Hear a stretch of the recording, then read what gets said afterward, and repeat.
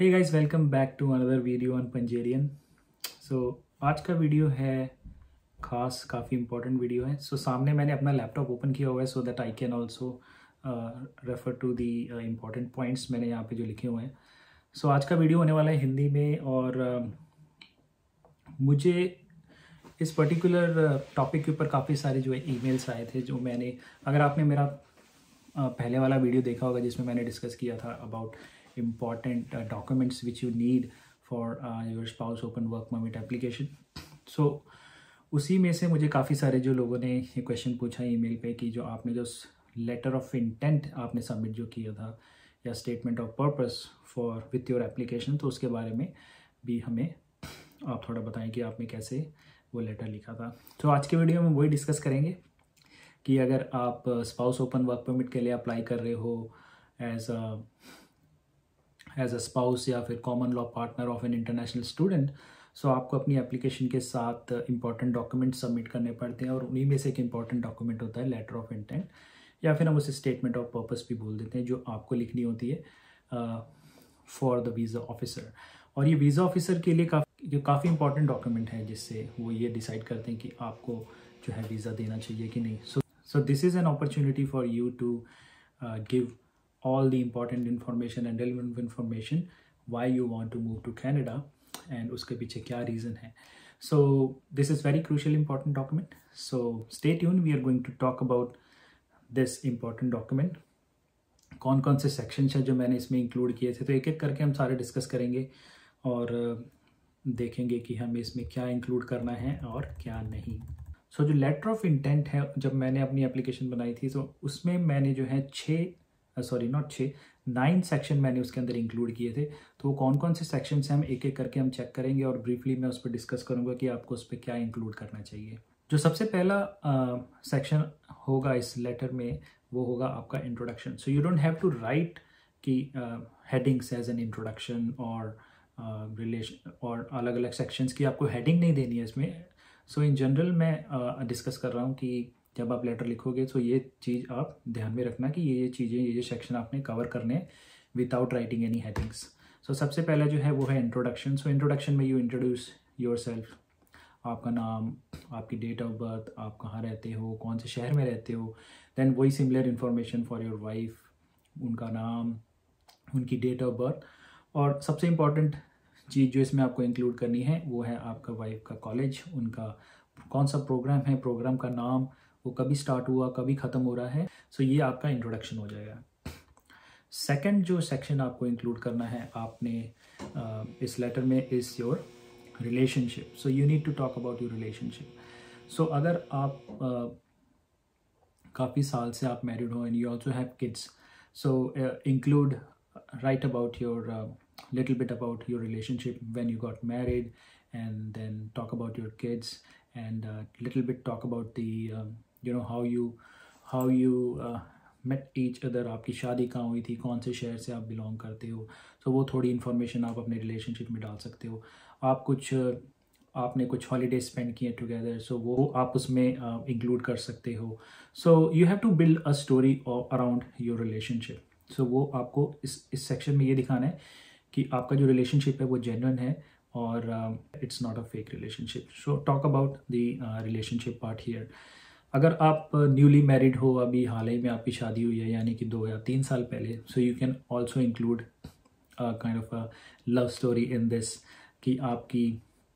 आप कहाँ मिले? अगर आपकी अरेंज मैरिज थी तो आपने कैसे आप लोगों का जो है अरेंज मैरिज हुई, या शादी डॉट कॉम या या किसी रिश्तेदार के through so you can also include that stuff here and then you talk about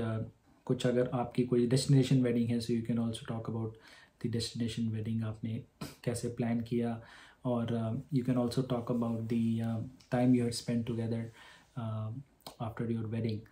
so you have to basically write about your relationship from the very beginning if you are newly married क्योंकि newly married में ही आपको uh, ये ज़्यादा अच्छे से prove करना होता है कि योर जो आपका रिलेशनशिप जो है वो एक जेनुअन रिलेशनशिप है। So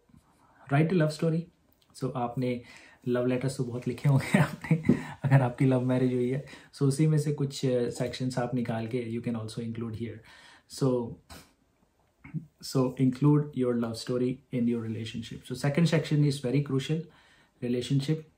और I also call it love story section so जिसमें आपको अपने रिलेशनशिप के बारे में अपनी अपनी लव स्टोरी के बारे में आपको लिखना है। अब आ जाते हैं थर्ड सेक्शन में। सो द थर्ड सेक्शन है it can be part of the second section relationship so uh, this is the how it's affecting your life after being separated from your spouse so इसमें आपको ये लिखना है कि आपकी spouse uh, के जाने के बाद आपकी life back home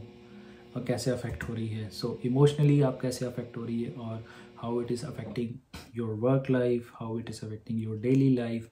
and how it is affecting your health so ये तीन चीज़ें जो हैं आपको इसके इस सेक्शन के अंदर इंक्लूड करनी है। So this is your third section and very crucial section how it is affecting your life after being separated from your spouse fourth section जो इसमें हमने इंक्लूड करना है वो है what is the importance of being together in Canada so आप Canada क्यों जाना चाहते हो? सो so, पहले तो आप आपने रीज़न दे दिया कि क्योंकि इट इज़ थर्ड सेक्शन में ही आपने रीज़न दे दिए थोड़े बहुत कि आपको ये इमोशनली अफेक्ट कर रहा है आपकी वर्क लाइफ अफेक्ट हो रही है और इसकी आपकी आपकी जो है हेल्थ भी कहीं ना कहीं अफेक्ट हो रही है। इसीलिए आप अपने पार्टनर के पास और you want to go and be together with your spouse so fourth section के अंदर हमें उसी को उसी पॉइंट्स को लेते हुए हमने और कुछ इंपॉर्टेंट पॉइंट्स इसमें इंक्लूड करने सो uh, so सबसे पहला पॉइंट आप इसमें लिख सकते हो what is the importance of being together in Canada so उसमें आप सबसे पहले लिख सकते हो कि स्पेंडिंग टाइम अगर आप न्यूली मैरिड हो तो आप you know you want to spend time together with your wife क्योंकि आप, अभी अभी आपका की शादी हुई है and you want to spend maximum time with your partner and it is affecting your emotionally a lot इसीलिए आप उनके साथ ज़्यादा से ज़्यादा टाइम स्पेंड करना चाहते हो और इसलिए आप जो है कनाडा जाना चाहते हो। एक ये पॉइंट आप इसमें लिख सकते हो। दूसरा आप लिख सकते हो कि आप वहाँ जाना चाहते हो so that your partner your spouse can concentrate more on studies so आप वहाँ पे उनको जाके एक इमोशनल सपोर्ट देना चाहते हो क्योंकि एजुकेशन इज़ रियली स्ट्रेसफुल अगर आप वो मास्टर्स कर रहे हैं। इनफैक्ट कोई भी एजुकेशन अगर आप कनाडा में कर रहे हो and being a new country so आपके पास एजुकेशन का स्ट्रेस प्लस आपके पास पार्ट टाइम जॉब का स्ट्रेस होता है। सो so, काफ़ी स्ट्रेसफुल लाइफ हो जाती है you can include this point कि आपकी जो पार्टनर है स्पाउस है she is very stressed and I want to support her emotionally and I want to relieve her from her stress so that she can concentrate more on her career and career or more on her education and uh, forget about other things which I will go and take care. So you want to go there to support your wife uh, emotionally and also to support her financially uh, by you doing a job and she can study uh, full time and concentrate more on our studies so ये एक important point आप इसमें लिख सकते हो इस section के अंदर तीसरा point आप लिख सकते हो कि अगर आपके uh, you know if you have kids so your how your kids are missing your spouse and how your spouse is being affected uh, from being separated from your kids so give a emotional um, connection here and um, and you can talk about the um, the the stress uh, both going through uh, being separated. Any kids and mother how they're you know affected. And you can also write about uh, in this section why you want to be together with your wife is to celebrate life. So you want to you know be with your wife and uh, celebrate the achievement education uh, uh, वहाँ पे जाके वो कर रहे हैं masters कर रहे हैं या फिर वो ग्रेजुएशन कर रहे हैं whichever education so you want to be part of that celebration जब वो उनकी पढ़ाई पूरी हो जाएगी तो आप चाहते हो कि आप उनके साथ हो इस इंपॉर्टेंट माइल माइलस्टोन में जो उनके लाइफ में है so you want to celebrate those achievements with her so ये चीज़ जो है इंपॉर्टेंट तीन पॉइंट्स आप इस सेक्शन में लिख सकते हो which is why you want to be with your partner in Canada so ये जो स्टार्टिंग के जो पॉइंट नंबर दो तीन और चार हैं ये सबसे ज़्यादा इंपॉर्टेंट होते हैं in your letter of intent which is your relationship या your love story and how it's affecting you back home and and what is the importance of being together in Canada so ये तीन section जो हैं ये आपने अच्छे से सोच के लिखने हैं और try to write it on in your own words आप ऐसे मत करो कि uh, गूगल करके, कॉपी करके, यहाँ वहाँ से देख के, एक स्टोरी सी बना के लिख दी। सो कीप इट जेनुअन खुद से आप सोच के लिखो, इस पर ज़्यादा जल्दबाजी ना करो इस तीन सेक्शन के ऊपर। Think about it and write in write it in your own words sir जब मैंने अपना स्पाउस ओपन वर्क परमिट के लिए, जब ये मैंने लेटर लिखा था तो मुझे almost fifteen to twenty days लग गए थे ये लेटर लिखते लिखते ले चेंज किया, फिर लिखा। सो यू नो आराम से रिलैक्स होकर सोच के लिखो, ज़्यादा जल्दबाजी विथ लिखो एंड राइट इट योर खुद से लिखो। भले ही आप बाद में इसको किसी से करेक्शंस करवा सकते हो in terms of English but write it in your own words you can also discuss this with your spouse with your partner and you can also write it together you can add some points together in this letter so आप उनके साथ discuss करके ये letter लिखना है आपको। Alright so the fifth section जो है is uh, uh,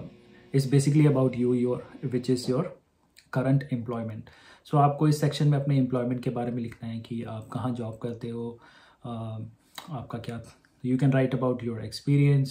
and uh, so you're basically creating a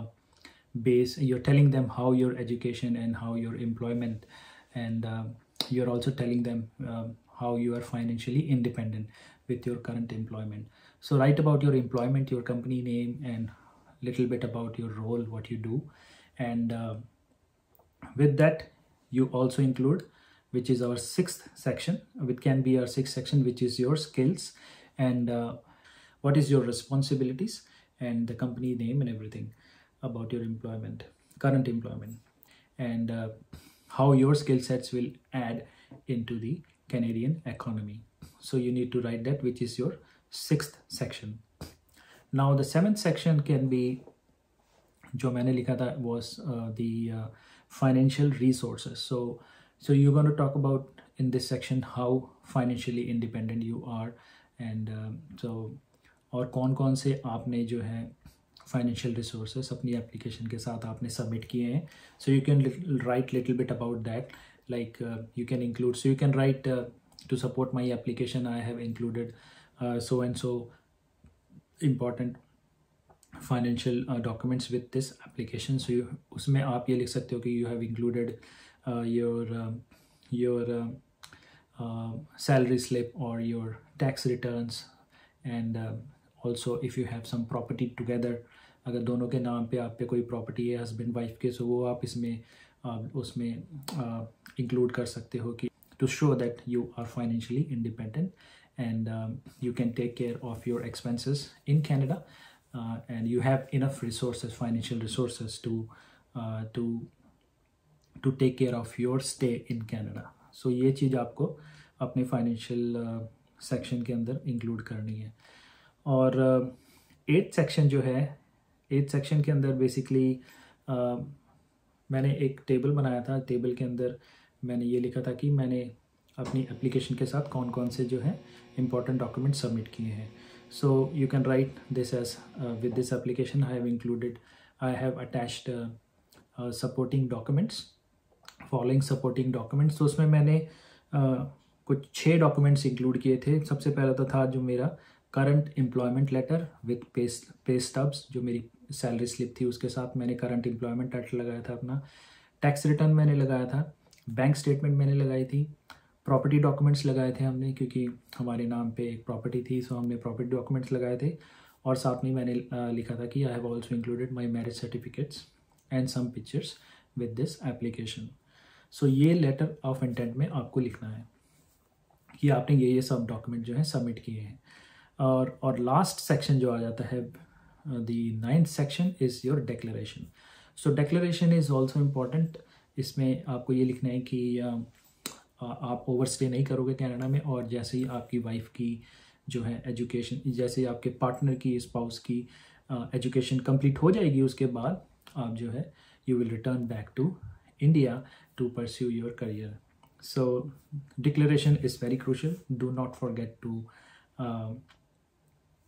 include this in your application. So declaration is crucial.